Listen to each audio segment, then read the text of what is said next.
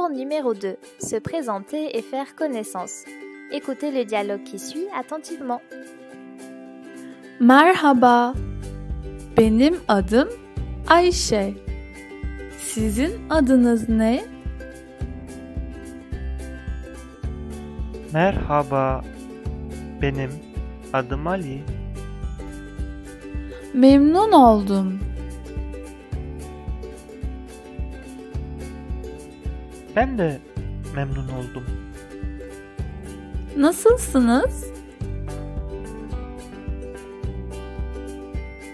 Teşekkür ederim. İyiyim. Siz nasılsınız? Teşekkür ederim. Ben de iyiyim.